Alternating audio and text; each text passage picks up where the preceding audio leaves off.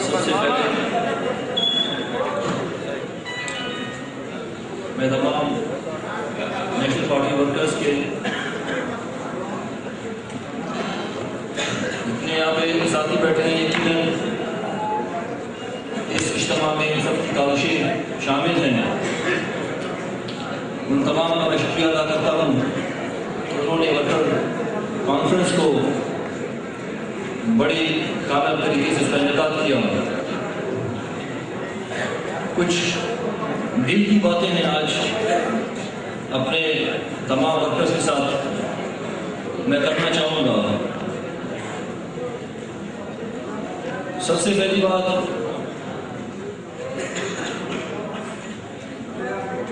کہ ڈاکٹر شفقت اللہ صاحب نے ایک بات کہی۔ کہ جو نعرے یہاں پہ ساتھی لگا رہے ہیں، ان نعروں میں کچھ قوموں کے نام آ رہے ہیں۔ مجھے وہ نام بھی گوارا نہیں ہے۔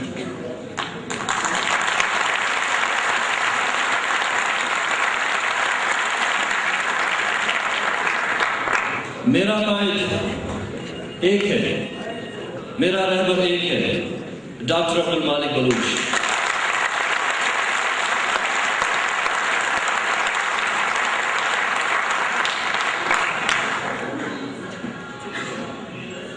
چونکہ آج ورکرز کانفرنس ہے،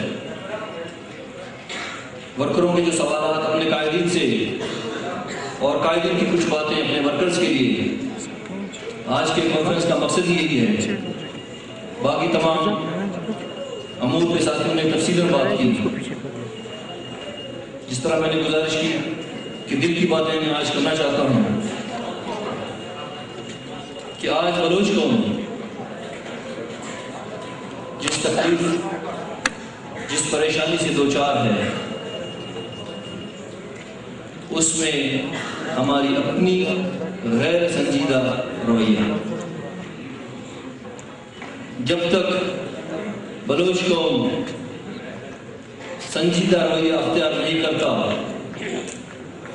ایک سنجیدہ فکر سوچ اپنے ذہن میں نہیں ڈالتا اپنا رویہ اپنے عمل کو سنجیدہ نہیں کرتا میں نہیں سمجھتا ہوں کہ کوئی جلسہ کوئی بڑا کانفرنس کوئی بڑا اجتماع ہماری مصیبتوں کو دور کر سکتا ہے۔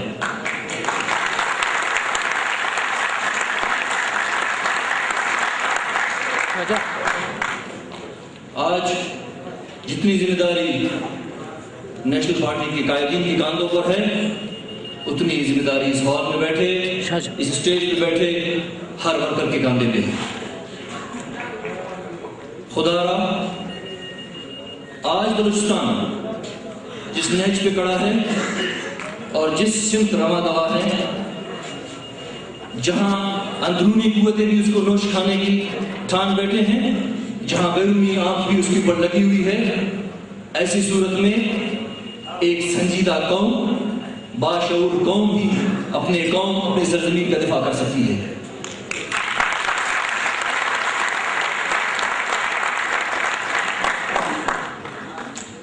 آج تمام قوموں کے ساتھ ہمارا کوئی اختلاف نہیں ہے۔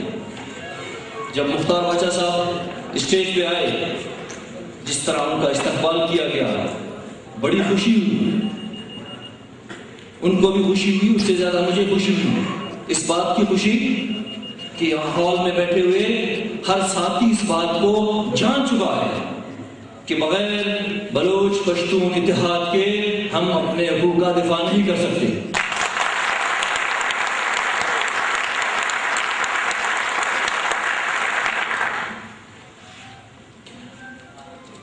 دوسری بات چھوٹی سی بات ہے لیکن اس کی وضاحت میں ضروری سمجھتا ہوں کہ ایک ساتھی نے کوشچن کیا یہاں پہ ہال میں بیٹھ کے کہ ہم مادری زبان میں اس سلسلے کو، اس کانفرنس کو چلائیں۔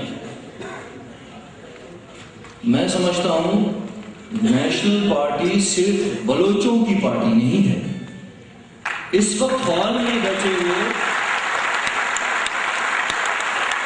اس وقت ہوئے تمام قوموں سے تعلق رکھنے والے لوگ اس میں موجود ہیں۔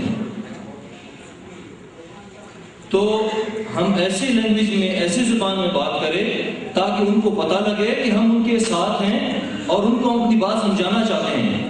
اگر میں گرامی میں شروع ہو جاؤں بلوچ کوئی بلوچی میں شروع ہو جائے، کوئی پشتوں میں شروع جائے، تو اس طرح میں بھی سمجھتا ہوں کہ ہم آپ اپنی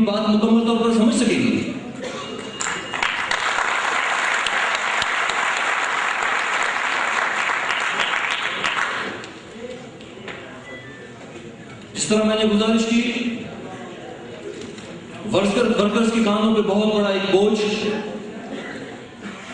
نہ صرف اس کرپٹ گورنمنٹ کو آگے آنے سے روکنے کے لیے، بلکہ جس طرح میں نے کہا کہ بلوچ قوم بلوچستان کے اوپر جو ایک مصیبت آگے ہم دیکھ رہے ہیں، ان سب کو کنٹرول کرنے کے لیے، ان سب کا مقابلہ کرنے کے لیے ہر ورکر کو اپنے علاقے میں، اپنے علاقوں کے لوگوں کے لیے مشل راہ کی طرح اس میں بننا ہے، اپنے لوگوں کو اس میں گائیڈ کرنا ہے، صحیح سم کی طرف لانا ہے، صحیح پارٹی کی طرف لانا ہے۔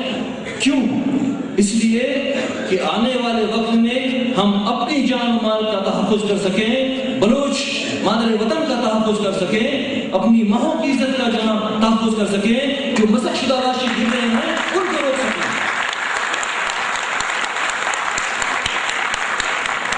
ہماری بقا مکمل طور اسی میں ہے کہ سونے کا وقت جا چکا ہے، جاگنے کا وقت آ چکا ہے۔ آپ میرے لیے اس ہال میں ہر بندہ بیٹھا ہوا میرے لیے قائد ہے وہ ایک قائدانہ رول اپنے علاقے میں اپنے لوگوں میں ادا کر سکتا ہے اور اس میں ادا کرنا ہے اگر اگر وہ یہ رول ادا کرنے میں خدا نخواستہ ناکام ہوتا ہے تو یقیناً اس کے اثرات ہم سب پہ پڑیں گے۔ اس کا خمیازہ ہم سب کو بھگتنا پڑے گا۔ جو ہم اس وقت ساٹھ سالوں سے پینسٹھ سالوں سے جو بلوچ انتشار کا شکار ہے، بلوچ مظالم کا شکار ہے، اس کی وجہ یہی ہے، ہم اتفاق نہیں ہے ہم سنجیدہ نہیں ہیں۔ سنجیدہ ہونے کا وقت آ چکا ہے۔ میری تمام یہاں پہ جتنے میرے بھائی ورکرز بیٹھے ہیں، میرے لیے قابل قدر ہے، قابل احترام ہے، اس چیز کو جان لے۔ حالات کی حساسیت کو پہچان لے اور ان کے کاندھوں پہ جو اس وقت ایک پارٹی کا، ایک قوم کا، ایک علاقے کا بوجھ رکھا ہوا ہے، اس بوجھ کو بڑے باصلاحیت طریقے سے اس کو سبب کریں اور اس کام کو بہت محنت کے ساتھ، بہت لگن کے ساتھ، قربانی کے ساتھ آگے لے کے جائے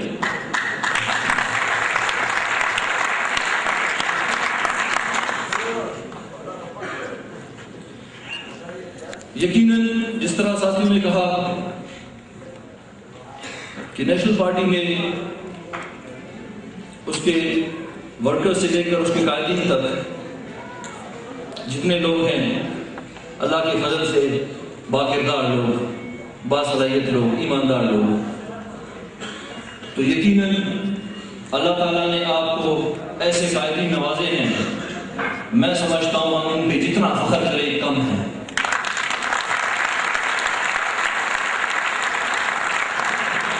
آخر میں میں تمام ورکرز جو یہاں پہ تشریف رکھتے ہیں، ان کا میں مشکور ہوں کہ انہوں نے بھرپور طرح سے اس کانفرنس میں شرکت کی اور اس کانفرنس کو کامیاب بنایا۔ بہت مہربان۔